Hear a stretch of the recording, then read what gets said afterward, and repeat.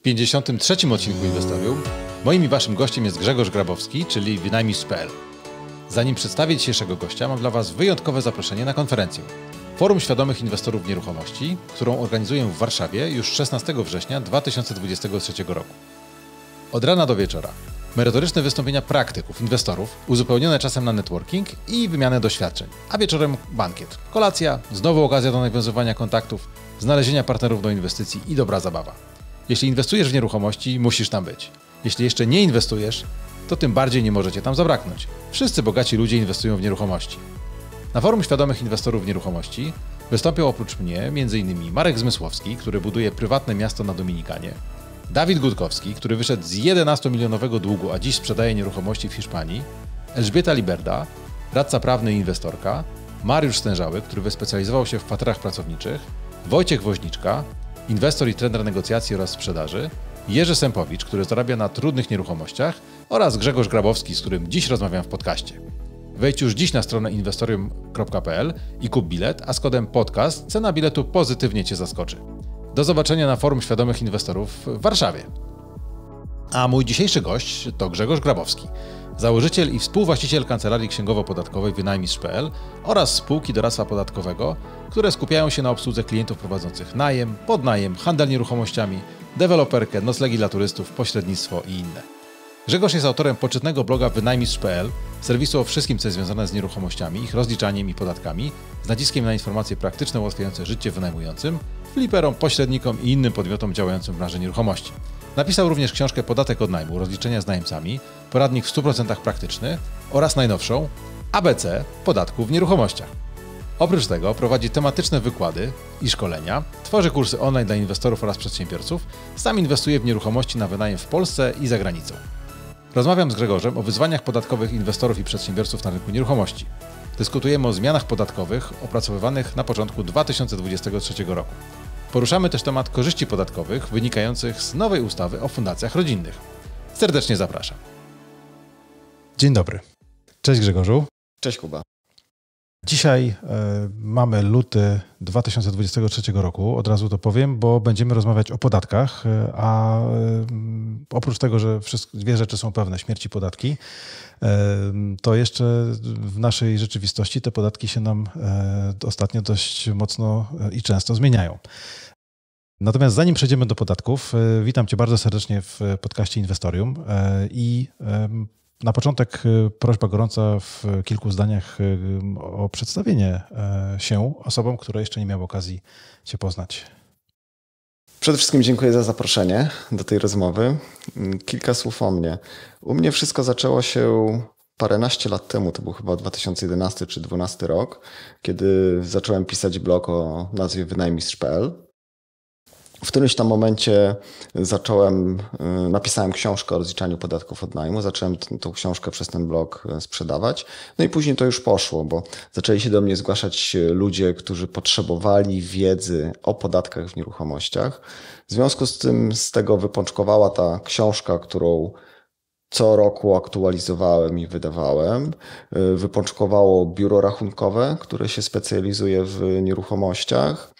Potem też stosunkowo niedawno, bo to chyba było ze dwa czy trzy lata temu, dołączyła do tego spółka doradztwa podatkowego. Oczywiście nie robię tego sam. Mam wspólnika, więc w którymś tam parę lat temu, chyba to był 2015, dołączył do mnie wspólnik i to już w tym momencie rozliczamy, rozwijamy wspólnie. Oprócz tej spółki księgowej, spółki doradztwa podatkowego, mamy też y, taką część szkoleniowo-edukacyjną, czyli wydajemy książki, książki o podatkach w nieruchomościach, robimy szkolenia y, dotyczące podatków w nieruchomościach, robimy webinary. Tych webinarów na przykład y, od początku pandemii zrobiliśmy już chyba ładnie ponad setkę na przeróżne tematy, ale głównie to są oczywiście podatki w nieruchomościach w różnych obszarach y, nieruchomości. Więc tak naprawdę można powiedzieć, że wynajmistrz to jest, jeśli mam powiedzieć o tym w skrócie, no to to są podatki plus nieruchomości i wszystko, co się z tym wiąże. Fajnie. To jest hasło wynajmistrz mm, wśród tych osób, które nieruchomościami się interesują. Y, zazwyczaj jest kojarzone i rozpoznawane. Jak y, gdzieś pada pytanie, kto może pomóc w kwestiach podatkowych, to wynajmistrz jest y, pierwszym albo jednym z pierwszych wyborów. Więc faktycznie ta konsekwencja wieloletnia w przypadku jakby twojej działalności edukacyjnej i raczej tutaj widać, że ewidentnie procentuje.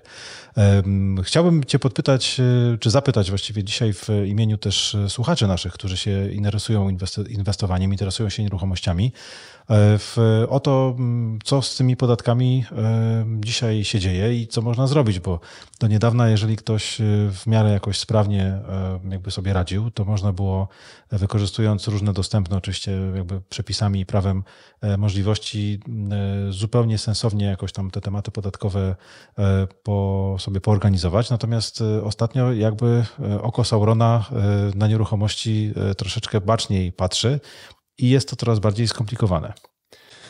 To prawda. Do pewnego momentu można powiedzieć, że do 2021 roku opodatkowanie, jeśli chodzi o nieruchomości, i to zarówno jeśli chodzi o inwestowanie w nieruchomości na wynajem, jak i prowadzenie biznesu w tej branży, y, było w miarę sensowne, w miarę rozsądne. Natomiast y, nie wiem, okolice 21, 22, tak jakby rzeczywiście oko Saurona, czyli ustawodawca, zauważył, że rynek nieruchomości jest y, dobrym kandydatem na kolejną, no w cudzysłowie może to źle zabrzmi, dojną krowę, czyli taki obszar, w którym można tych podatków wycisnąć trochę, trochę więcej. No i niestety zaczęła się seria niekorzystnych zmian. Taka przede wszystkim kluczowa zmiana, kluczowa, y, kluczowy etap to było oczywiście mm, wejście w życie Polskiego Ładu, który y, zlikwidował to tam tak jakby z jakimś tam okresem przejściowym, ale tą amortyzację nieruchomości mieszkalnych, zlikwidował tą możliwość rozliczania się w ramach najmu prywatnego na zasadach ogólnych, czyli z rozliczaniem naszych inwestycji, kosztów i tak mhm. dalej. Pozostał tylko ryczałt. No i też przede wszystkim pogorszył mocno warunki prowadzenia biznesu, czyli do biznesu w Polsce, czyli e, tak jakby zaszkodził tym wszystkim ludziom, którzy firmę w nieruchomościach prowadzą. No bo doszła ta składka zdrowotna zależna od dochodu, dużo tak jakby mocniejsze skomplikowanie tego systemu. No zmieniła się niby tam skala podatkowa, ale doszła ta składka, więc tak naprawdę de facto jest gorzej. Jest gorzej. Znaczy Polski Ład y, mocno zepsuł system podatkowy dla przedsiębiorców w Polsce. Zwany również nieładem. Tak, tak, że, że, rzeczywiście no, używanie nazwy Polski Ład względem tego, co się wydarzyło, jest pewnym nadużyciem. Nadużyciem, niestety mhm. tak.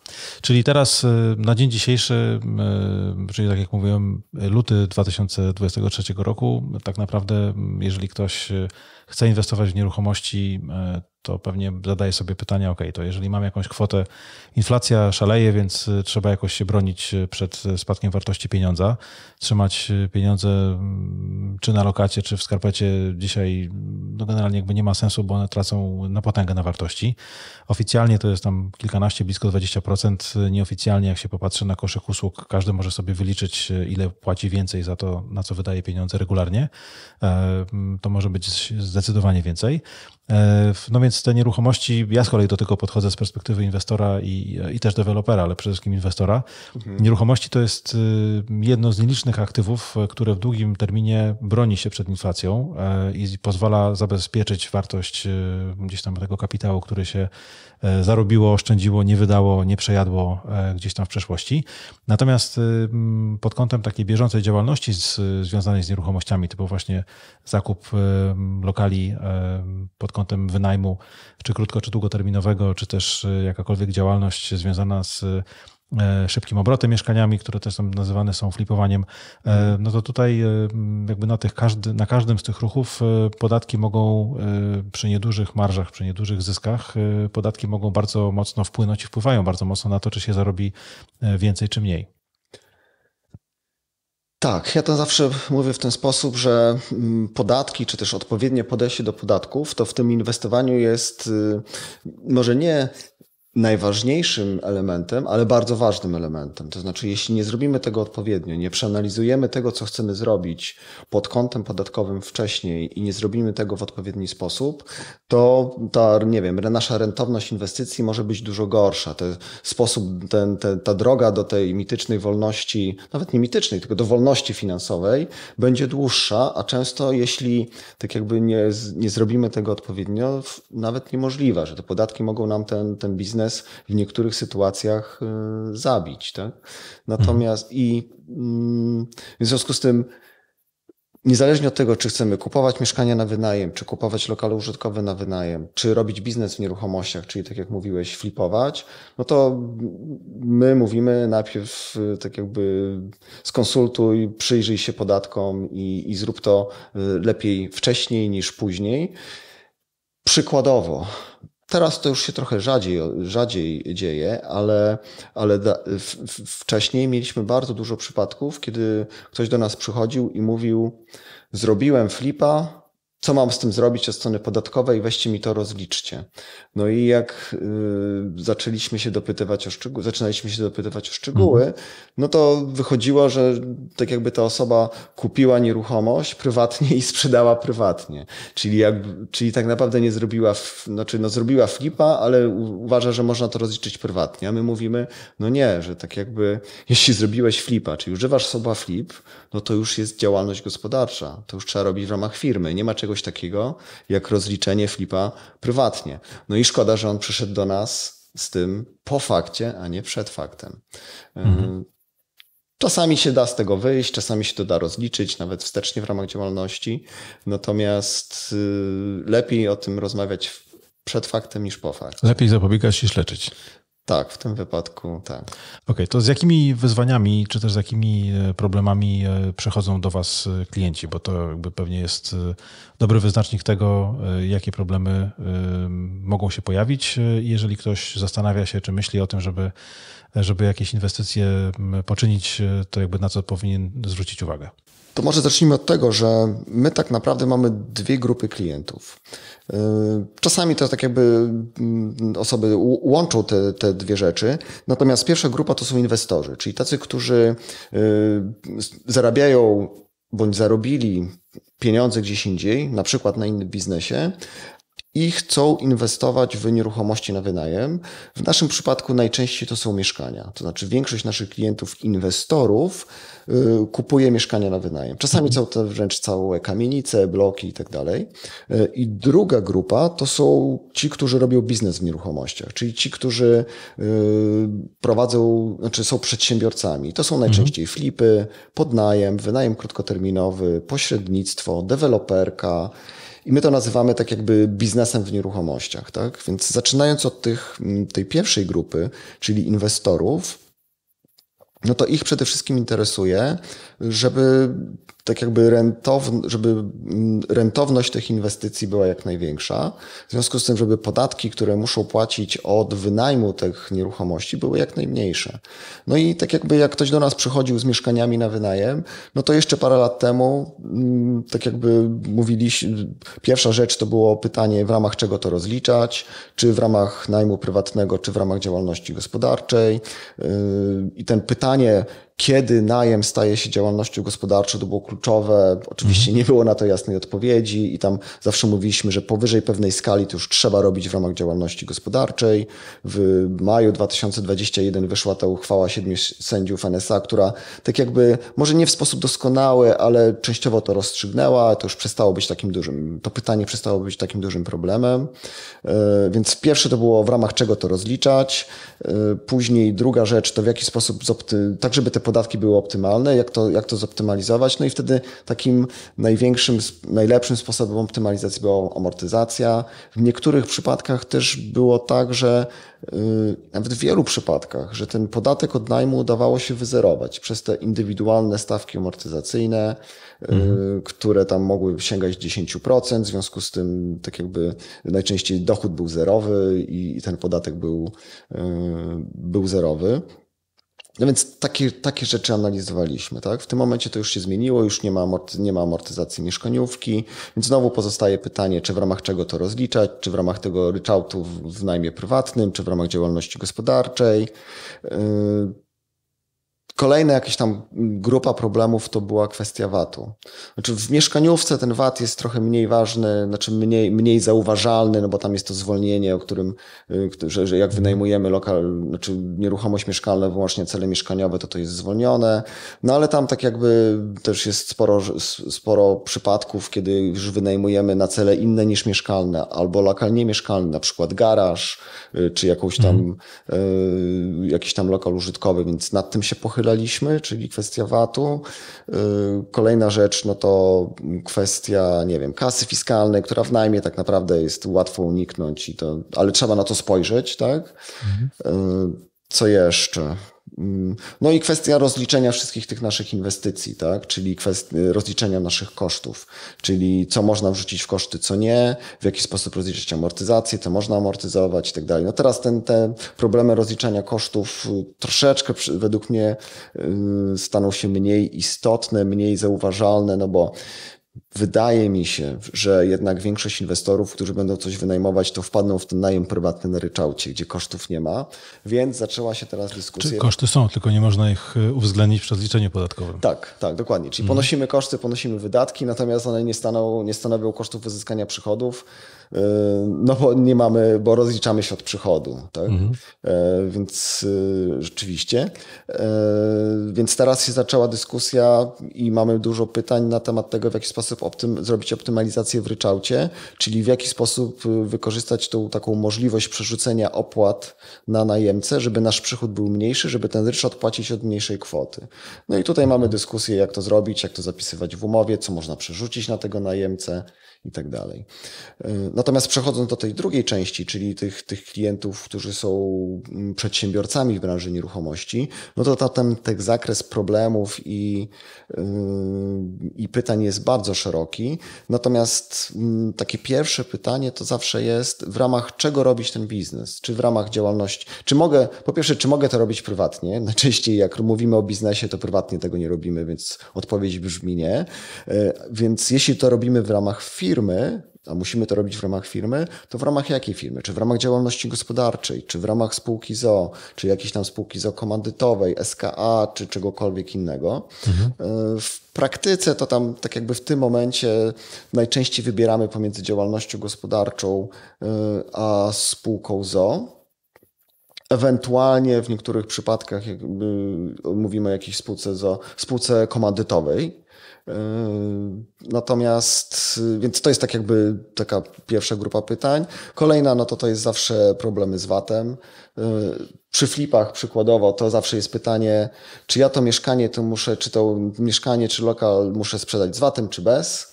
No i tam zawsze powstaje dużo mitów, ile, ile mogę wrzucić w ten remont, te 30% i tak dalej. Więc to, to jest taki no podstawowy problem.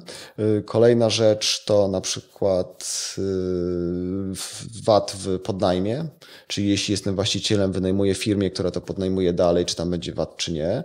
To się niestety ostatnio zmieniło na niekorzyść w, mm, nie wiem, w innych obszarach typu usługi zakwaterowania, no to mamy y, znowu pytanie, czy można to prywatnie robić, czy nie, czy robić to z VAT-em, czy nie, którym VAT-em, czyli czy 8, czy 23.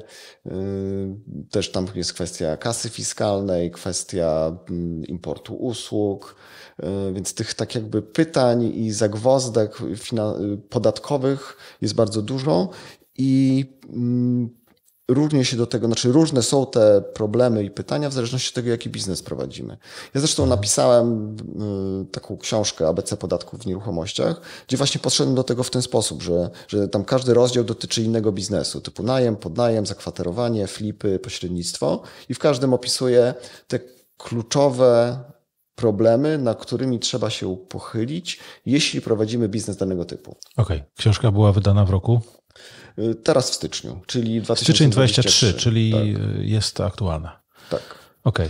Chociaż y, tak jakby, tak jak mówiłeś na początku. Nigdy nie wiadomo jak długo. Tak, nigdy nie wiadomo jak długo i, i ja zawsze mówię, że mm, te, no niestety takie rozmowy, też książki, artykuły, jeśli chodzi o podatki, dezaktualizują się y, bardzo szybko y, i dla mnie jedną z tam większych, jednym z większych wyzwań jest na przykład trzymanie naszych artykułów na blogach, czyli moim blogu i mojego wspólnika, tak żeby one były aktualne Tak? Czyli monitorowanie, co się zmieniło i, I aktualizacja zmieni, treści aktualizacja. artykułu.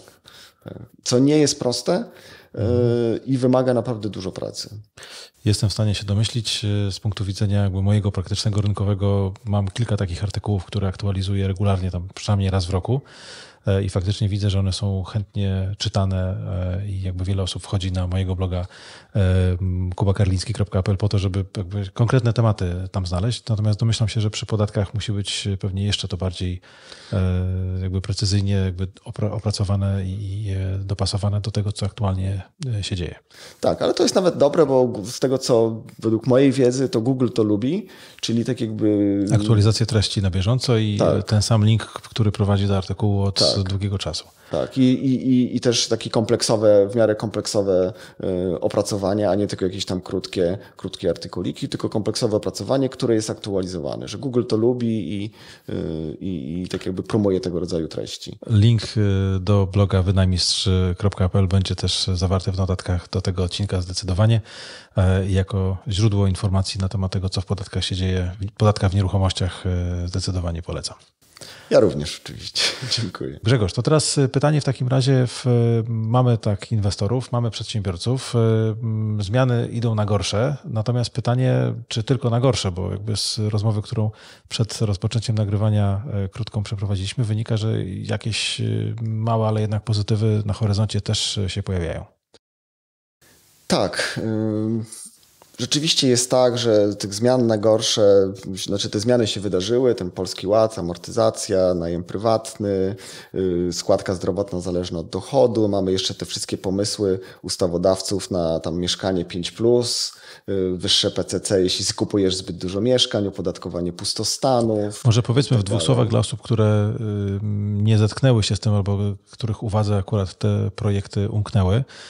Tutaj w trosce o to, żeby zagraniczne fundusze nie wykupywały e, polskich mieszkań, które są klejnotem rodowym, podobnie jak e, ziemia polskich rolników, jest projekt ustawy, który ma nałożyć dodatkowe podatki, to takie dość poważne obciążenia podatkowe na tych inwestorów.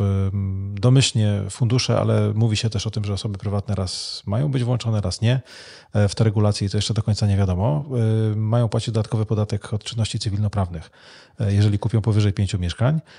I ten sam nabywca chyba też ma mieć ograniczenie, że będzie mógł kupić, jak już przekroczy ten próg pięciu mieszkań, to będzie mógł kupić jedno mieszkanie tylko rocznie. Dokładnie. To znaczy, tego, według mojej wiedzy na, na, na dzisiaj, czyli początek lutego, jeszcze chyba nie ma w, w przestrzeni publicznej projektu ustawy. Przynajmniej ja go nie widziałem. Więc to, co teraz mówimy, to wiemy tylko na podstawie informacji prasowych, konferencji, slajdów y, i, i wpisów na Twitterze y, na kontach rządowych.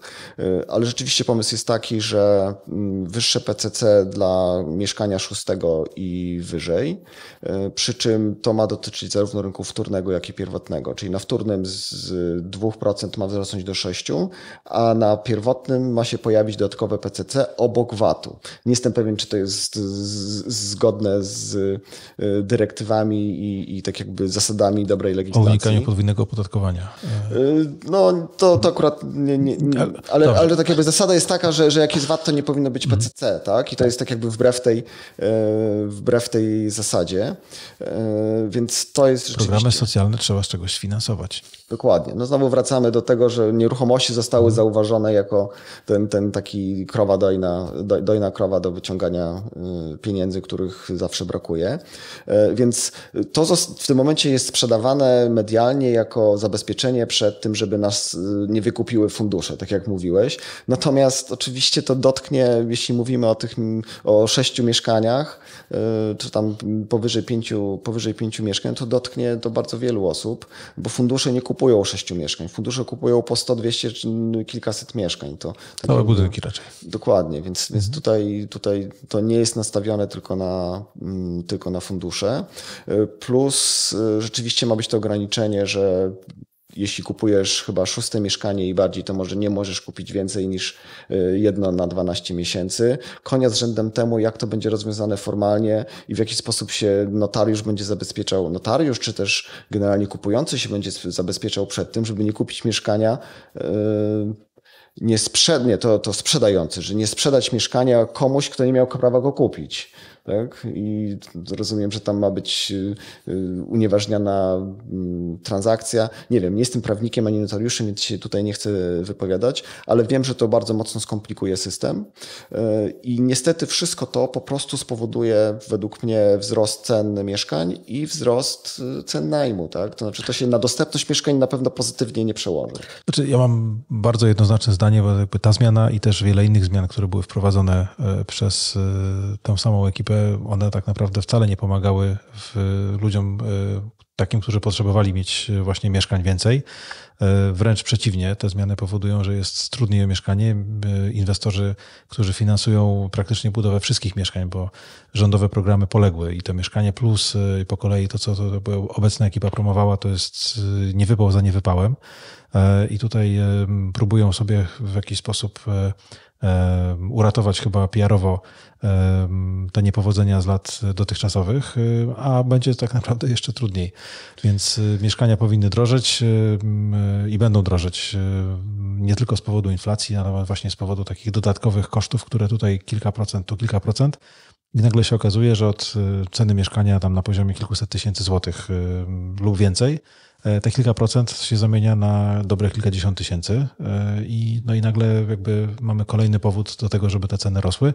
Nie z winy tych, którzy nawet sprzedają. Oni po prostu się e, muszą dostosować do tego, jakie są wymogi. To, czego ja się obawiam jeszcze tutaj, to takie, mm, to się nazywa gotowanie żaby, tak? czyli wprowadzanie jakichś nowych podatków, nowych ograniczeń, które sprzedaje się w w przestrzeni medialnej, tylko, że, że one dotyczą tylko pewnej grupy podatników, pewnej grupy firm, na przykład tylko funduszy. Wprowadzamy, a w kolejnym kroku, nie wiem, za rok, dwa, trzy może być tak, że katalog się rozszerza. Że to się rozszerza, mhm. albo zmniejsza się limit, że to już nie będzie od piątego, tylko od czwartego i w końcu skończymy na tym, że mamy PCC 6% na każdy zakup mieszkania. Tak? No niestety w innych krajach, y, nie wiem, na przykład typu Hiszpania, te koszty transakcyjne są y, na poziomie nie, nie 2% PCC, tylko kilkunastu procent. Tak? To nie wiem, czy to jest dokładnie tylko PCC, ale też inne, y, inne mhm. tam opłaty. E, więc tak jakby mamy przykład tego z innych krajów, być może taki plan jest tutaj, tak, żeby te koszty transakcyjne e, mocno zwiększyć, przy okazji zwiększając, e, zwiększając przychód do, do budżetu państwa. Ale mieliśmy mówić o tym, co dobrego się tak. wydarzyło, a znowu wróciliśmy do tego, e, co jest e, nie najlepszego. E, niestety jakby tematy podatkowe uruchamiają emocje i powodują, że raczej człowiek się łapie za głowę i wyrywa sobie włosy z głowy, jeżeli jeszcze te włosy gdzieś tam na głowie ma. Natomiast wspomnijmy może o tym, o tym, o tym jednym pozytywie, który gdzieś tam się też jeszcze nie zmaterializował, ale tu już jest bliżej, bo nowa ustawa już jest chyba e, na etapie podpisu prezydenta, więc powinna zostać podpisana, o ile nie będzie niespodzianek e, i jakoś niedługo wejść w życie. Tak, to prawda. To znaczy, mm, sam jestem zdziwiony, że tego rodzaju ustawa y, przeszła i tak jakby została przegłosowana i wygląda na to, że za chwilę prezydent powinien ją podpisać. Mowa tutaj oczywiście o ustawie o Fundacji Rodzinnej. Y, to jest takie rozwiązanie, które zostało pierwotnie, znaczy było chyba pierwotnie nakierowane na firmy rodzinne, y, które, które miało tak jakby tym firmom rodzinnym ułatwić załatwienie kwestii sukcesji, tak, żeby te firmy w momencie, gdy brakuje tego tego, brakuje tego nestora, założyciela, żeby te firmy rodzinne nie, były wykupywane przez obcy kapitał, żeby tak jakby w cudzysłowie zostawały w rodzinie i dalej sensownie działały. Że obecne rozwiązania prawne zmuszały tych właścicieli firm rodzinnych do tego, żeby to robić przez jakieś fundacje za granicą, czy jakieś tam różnego rodzaju inne y, dziwne, y, no, może nie dziwne, no, ale różne mechanizmy, niekoniecznie w Polsce. Tak? Jest taka fundacja rodzinna, to ma być taki mechanizm, mechanizm, żeby ułatwić y, ogarnięcie sukcesji dla firm rodzinnych, ale moim zdaniem nie tylko, generalnie dla majątku rodzinnego, bo to też moim zdaniem będzie dobre rozwiązanie także dla inwestorów, którzy inwestują w nieruchomości, akcje, y, no i też oczywiście mają udziały w spółkach. Więc to ma działać, znaczy taka fundacja działa w ten sposób, że jest zakładana przez fundatora, można to, znaczy tak jakby fundator to może zrobić w każdej chwili, ewentualnie taka fundacja może powstać w, poprzez testament.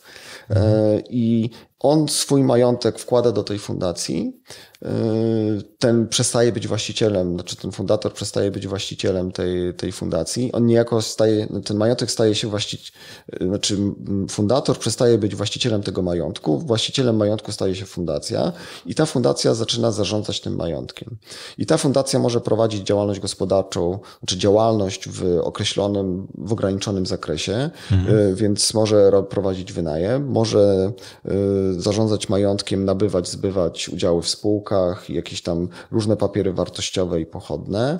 Y, może też y, udzielać pożyczkę, pożyczek y, tym spółkom zależnym, więc ja to nazywam, że to jest taki quasi pasywny fundusz inwestycyjny. Tak?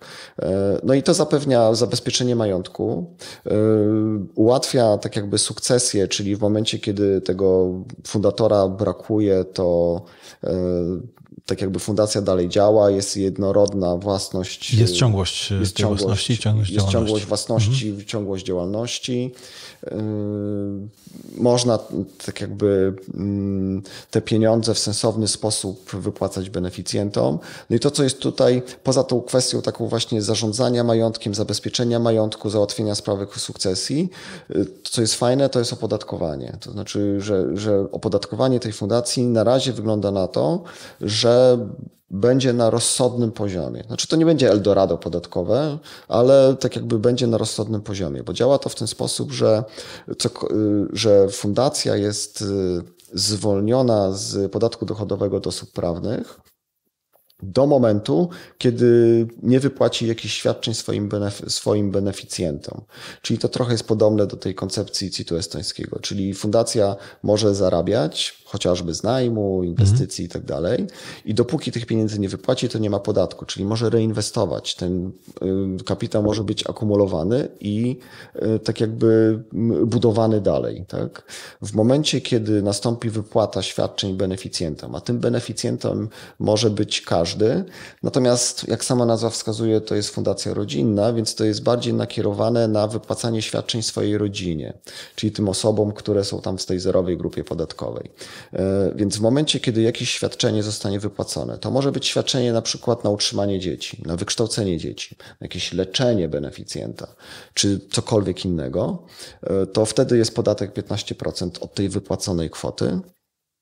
I jeśli beneficjent jest w zerowej grupie podatkowej e, fundatora, to wtedy już nie ma PIT-u. Jeśli to jest y, w innej grupie podatkowej, na przykład obca osoba, gdybym ja jako fundator wypłacił jakieś świadczenia tobie, to ty jeszcze zapłacisz od tego 15% y, PIT-u. Więc przykładowa sytuacja. Mam spółkę, która zarabia, wypłaca jakieś dywidendy. Mogę to udziały w tej spółce włożyć do fundacji. Spółka wypłaca fundacji dywidendy. Oczywiście, mm, tak jakby spółka zapłaci podatek od tego, co, co, co zarobi, tam te mm 9 czy 19% tak. CIT-u. Mm Wypłaca dywidendy fundacji.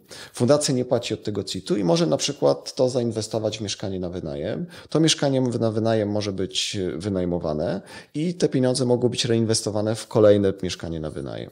Jeśli wypłacimy jakieś świadczenia z tej, z tej y, fundacji, na przykład dzieciom fundatora, z tych pieniędzy, no to wtedy będzie 15%. Czyli mamy tak jakby od tego, co spółka zarobiła 9% CIT-u, a oprócz tego, jeśli wypłacimy to beneficjentowi, mamy 15%, tak? Czyli procent, efektywne opodatkowanie wychodzi tam 20, 20 kilka y, procent, co jest sensownym poziomem. To nie jest tak jakby Eldorado, ale to już jest według mnie rozsądny, rozsądny poziom y, opodatkowania. Przy czym to jest jeszcze ciekawe to, że, że tak jakby ten mechanizm, że wypłacamy pieniądze, że dopiero od tych wypłaconych świadczeń mamy opodatkowanie, to niejako powoduje, że możemy rozliczać koszty. Czyli jeśli na przykład fundacja wynajmuje coś za 10 tysięcy złotych, a oprócz tego ponosi ileś tam, nie wiem, 2000 złotych kosztów y, utrzymania tej nieruchomości, no to tak naprawdę ten, pod, i, czyli temu beneficjentowi już będzie mogła wypłacić nie 10, tylko 8. I dopiero i wtedy tylko od tej, tych 8 tysięcy ten, będzie ten podatek 15%. Czyli de facto opodatkowujemy można powiedzieć, dochód. Tak? Czyli mhm. mamy 15% tak. podatku od dochodu z tego, co zarobi, y, co zarobi y, fundacja. Okej. Okay. Czyli jakaś, y, jakieś światełko gdzieś w tunelu się pojawia, że nie, nie, nie tylko zmiany na gorsze w podatkach przed nami. Tak, i miejmy nadzieję, że to nie zostanie zepsute, bo na razie ustawa wygląda bardzo fajnie. Oczywiście nie jest doskonała, tam jest trochę niejasności, jest trochę rozwiązań, które mogłyby być lepsze. E, natomiast miejmy nadzieję, że nie zostanie to zepsute na poziomie interpretowania tego prawa. To znaczy teraz niestety ustawodawca ma taką tendencję do, do zmieniania prawa poprzez inne, inne, inne interpretowanie. Ustawy. Inne ustawy. E, więc tak mhm. jakby tutaj jest tego rodzaju ryzyko, ale wygląda na to, że, że okay. powinno być dobrze. Trzymamy kciuki w takim razie.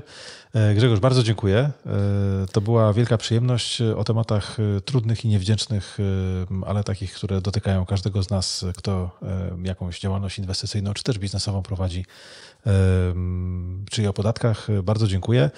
Grzegorza możecie znaleźć najlepiej na wynajmistrz.pl. E, i tam e, są i artykuły na blogu, i książki, e, i też można się przez bloga z Grzegorzem skontaktować. Grzegorz będzie również jednym z prelegentów na konferencji Forum Świadomego Inwestowania w Nieruchomości, na którą również bardzo serdecznie zapraszam. Więcej informacji o konferencji na stronie kubakarliński.pl ukośnik konferencja. Bardzo dziękuję, do usłyszenia, do zobaczenia. Dziękuję bardzo i do zobaczenia, do usłyszenia.